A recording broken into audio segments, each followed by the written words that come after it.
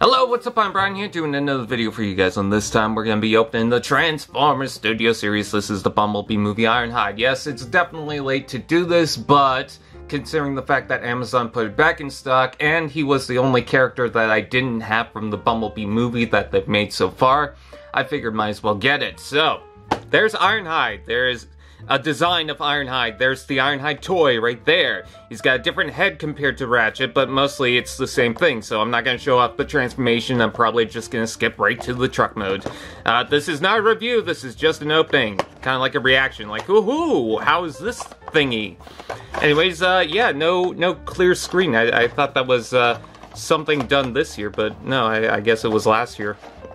I guess I forgot. Anyways, there's Ironhide out of the packaging, and there's the packaging. 84, not Studio Series 84 line, like the, you know, the 1984 stuff. Also, there's a backdrop with some sort of battle going on there. I'm not sure what's going on anymore. Uh, I almost thought that this was different compared to that. I, I thought this was the different Cybertronian scene, but no, it's it's the same thing. It's just very bright in its colors for whatever reason. Anyways, let's go ahead and unlatch the figure. By the way, let's take out the gun, because it's right here.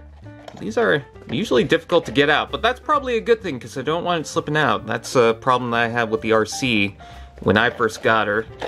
Uh, one of the guns was missing from that little slide thing, so...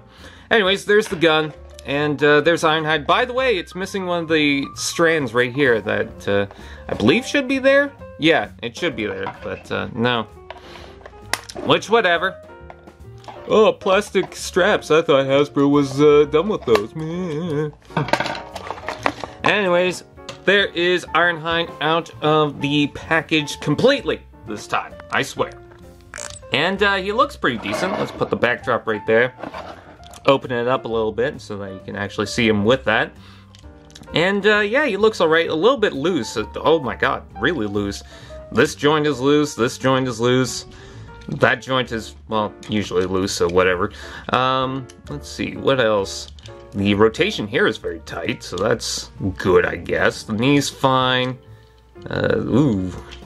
Uh, let's see, the arms, not necessarily the best, but I'm sure they're fine. They're. I don't know why I sounded like that. I do like the paint applications on the side here. And then on the feet, that looks really good. Wow. And then there he is with his gun, so he could go blam, or whatever sounds guns make. So, yeah, that is the Ironhide. And uh, we could also plug that onto his back somewhere. It goes right here. like so. And uh, yeah, Ironhide, he's all suited up and ready for battle. I'm sure he'll look good with the rest of the Autobot cast, but uh, we got transformed a little lad. Alright, there's Ironhide in his alt mode, and um, it's pretty cute. I like it a lot. I like the gold stripe on the side there. I love the transparent blue, the gray works. It, it's so nice. The black works especially. I like it on the top. And hey, you can plug the gun on the top there, and uh, ah, there's that. So, uh, with that way, that is pretty much it. I thank you guys for watching. Like, comment, share, subscribe, all the fun doodads, and I'll see you guys next time. Allspark TV. Now that's just prime.